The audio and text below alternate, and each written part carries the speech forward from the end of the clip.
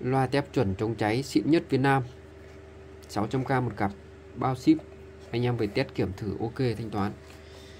Từ 8 côn 2,5 phễu 12 x 12 dây dài 1 mét rồi về đấu đít loa đít âm ni đít cục đẩy. 600k một cặp khung gỗ cực đẹp. Đây là củ 500 xịn nhá. Loại 600 này thì dùng cho các loại bát từ bát 20 đến bát 50 loa cây loa phun loa đứng loa nằm đều được. Âm ly cục đẩy từ 2 sò đến 40 sò 60 sò đều dùng ok các bạn nhá. 600k một cặp bao ship rồi. Anh em muốn mua được loa tép chuẩn xịn thì liên hệ với kênh bên mình. Liên hệ số điện thoại 0973 533 269 ship hàng toàn quốc, bảo hành một năm.